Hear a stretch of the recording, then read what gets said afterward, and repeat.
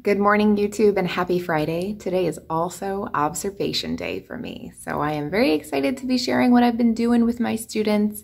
The observer will be meeting with me for my pre-conference later on today, and then they'll be coming in to observe about 40 minutes of my AP chemistry class. I have to quickly go get ready for the class, but I just wanted to check in with you, and so I might not have enough time to check in with you before class starts. We'll see, but um, I'll definitely show you what I'm planning for my observation and, of course, how it goes. So I just finished up with my pre-conference and I had a couple minutes, so I thought I would fill you in. Um, so I'm really nervous. Um, it, I, I don't know why. I think just because it's such a different observation than I've ever had. Obviously, doing this virtually is going to be just very different. I, in fact, in my pre-conference, I'm like, so how is this going to work? Like, am I going to invite you to the Google Meet? So what I ended up doing was inviting the observer to the Google Meet, of course, and then um, put them as a co-teacher on my Google Classroom so then she can see the resources that I'm providing to my kids. I also just shared the digital card sort that I created so that she'll have the opportunity to kind of look and see, you know, what the kids are actually doing. And then um, I kind of told her that one of the things that I do is I'll be on Google Classroom and we'll be monitoring what the students are and doing in Google Classroom. So I'll be putting comments and things in there. And I guess I just kind of want feedback. I just want to know like, am I doing a good job being a virtual teacher because this is so new for all of us. So I'm gonna talk myself up here and you know hope that things go well. I'm gonna go relax for a few moments and then my observation is gonna begin really really soon and I'll fill you in at the end of the day. I just finished my classes for the day. I had two classes back to back, so that's why I couldn't hop on here and tell you how the observation went. I think it went pretty well. Um, it's really hard to tell. Like, I could usually tell when the observer is pretty happy with what I'm doing when they're smiling, but now everybody's obviously wearing a mask. So I didn't really, I couldn't really tell, but I, I think it went well. Um, the kids were really, really on it. Like it was awesome. All the kids just did such a great job. Um, I introduced some breakout room norms, which I'll definitely share with you guys, um, because I, I've been kind of feeling like the way the kids are working in breakout rooms is just not very effective. And so um, I'll show you guys what I did for the breakout rooms and I'll show you the activity that I made. When my observer came in, I had this on the overhead. So even though I have students that are hybrid and virtual, I still make an agenda every week for the kids, but one slide is going to represent the week. So we only have classes in a normal week three times a week. So two of which are going to be about 70 minutes and one of which is about 30 minutes. And so um, when the students came into the class, I only actually physically had two students in class with me. Um, this was displayed. So we worked on an AP problem of the day. Um, I've been doing problems of the day, but um, I've been using Nearpod for them, and Nearpod really slows the like the computers down for the kids. So I decided let me try something different. So I actually made it using Quizizz. Um, Quizizz is an awesome tool. It looks something like this. Um, I use the lesson feature. So I know you have the option of doing a lesson um, or like an actual just like quiz game thing. So I opted for the lesson. That way I could control which questions are shown up on the overhead. Um, and also which questions are on their screen. And one of the cool things about Quizizz is, as I mentioned, they have the lesson feature, so you can toggle through. And when you toggle through, you have the ability to um, you know, address any misconceptions. You can see the students and their progress in real time. So I just did three multiple choice questions from AP Classroom. That way the students had the ability to, again, ask questions. If they didn't understand something, I could go over it. And these three questions were really, really good because the students actually got a lot of them wrong. So I was glad that we were able to talk about it as a class and learn more from it. After the AP problems of the day, I then went into the digital card sort, but I didn't start right with the digital card sort. Instead, I started talking about some of the breakout room norms.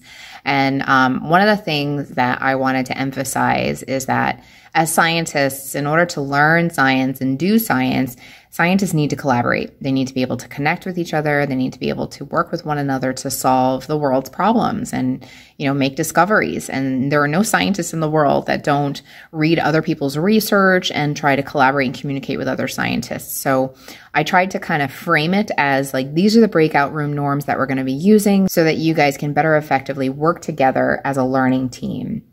One of the things that really I think helped with this is bullet number three, where I asked my students to share their screen, read the question aloud, and facilitate the discussion for the slides that match their assigned color. So you'll notice in this digital card sort, there's a lot of different colored slides. And so every student was assigned a certain color.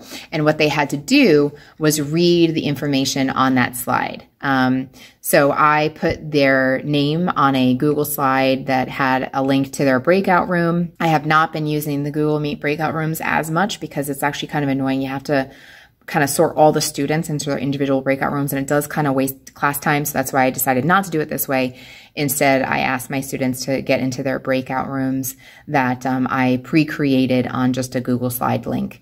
Um, so Anyway, so these were some of the norms. They, I found them to be really helpful and it was great because when I went into the breakout rooms, they were all reading aloud and everybody had their screen pre presented. So I was like, awesome, this is working really well. So I was really happy with what they did. As far as the topics that this digital card sort kind of encompassed, um, so I wanted to review uh, photoelectron spectroscopy with the students. So uh, we do a lot with photoelectron spectroscopy in our Chem 1 class um, for honors chem. So for the AP course, I didn't feel like I had to kind of go over it too too much because the students just needed a, a nice review of it. So this was a, a, reading slide. Obviously, the students had to read all of this. And then here's where we get into some kind of sorting here. So the students had to sort all of these different models. They had to sort them in order, and then they had to kind of defend their answer just like that. Um, they had to kind of look at the models over here. Again, click and drag them over. Um, now we move into reviewing the Bohr model and ionization energy. And the part of this is they had to make, again, another model so they can click and drag the pieces of the model very simply, very easily. And that way they don't have to like spend so, so much time, for example, like drawing and things. So that's what I ended up doing. And then, you know, they got their electrons and all that good stuff. So that was another one. And then we finally move into after that brief review photoelectron spectroscopies. Some of this is very similar to um, the POGIL that you may have seen. Um, now, there is a photoelectron spectrum um, generator that was really, really cool um, that somebody created, and it just creates it all in Excel. Um, and if you're a member of the AP Teacher Facebook group, I believe that is one of the resources posted. But um, that was what I used to create the spectra. And so um, they had to kind of pick the, the shell model that most closely represents the spectra. And then um, this was where they had to match the electron configuration. So over here on the left, there were all these different electron configurations that these students had to match with their different spectra and then identify the elements. And then um, after that, I asked them to compare two spectra and talk about why we're seeing different shifts in the peaks. And then finally, I ended with two AP FRQ questions that allowed the students to practice what we worked with in the card sort activity. All things considered, I think it was a pretty good observation. One of the coolest things that my observer saw when she first logged into the Google Meet is that all the students had their cameras on. And you're saying, Karen, how do you get all your students to put their cameras on? Well, I have to be honest and say, I don't really know. I don't know if it's something about the way I talk to my students. Um, I'm definitely kind of like the more nurturing type teacher. I don't I'm not like authoritarian. I like, you know, make the I don't make them do anything. I don't say like, "Oh, you have to put your camera on." I'm more kind of relaxed about it and I say, "Hey, you know, if you are in a Google Meet with your boss or if you wanted to talk to somebody about, you know, maybe applying for a job, you would be expected to be in a Google Meet with that person and you would have to meet with them face to face. Really, the same thing holds true here too, because we're in a class and we're meeting as a class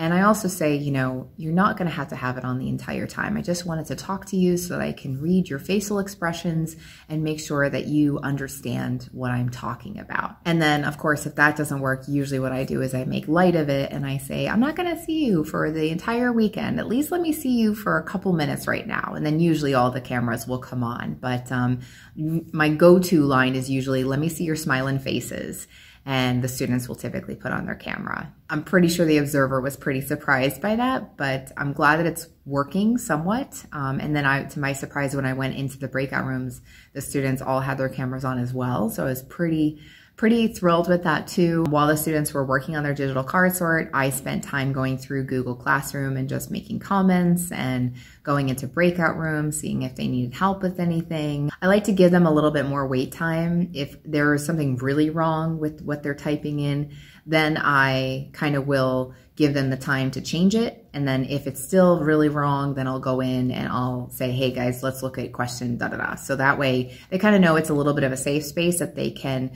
talk with each other, make mistakes and I'm not going to be like hovering over them to swoop down and correct them. I think that's it for me this week. I'm sorry the last few weeks my YouTube posting has been a little bit spotty. Um, it's been difficult to find balance with my personal life and my professional life as I'm sure many of you are also struggling with that, especially if you're working from home. But for me, you know, my first priority is my kids, my students. And um, so I've been spending a lot of time preparing for those classes and it's been hard to come up with a video that I want to create that I can feel good about showing to you guys.